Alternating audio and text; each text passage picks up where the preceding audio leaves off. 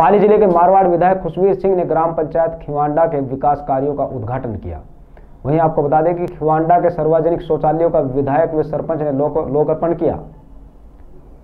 और खिवंडा की जनता को संबोधित करते हुए कहा कि जनता को विश्वास दिलाता हूँ कि कांग्रेस सरकार आपके विश्वास पर खरा उतरेगी।